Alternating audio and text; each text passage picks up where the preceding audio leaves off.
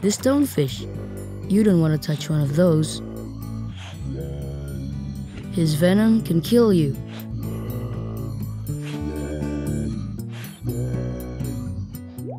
I learned this. Protect the reef and it'll sing to you.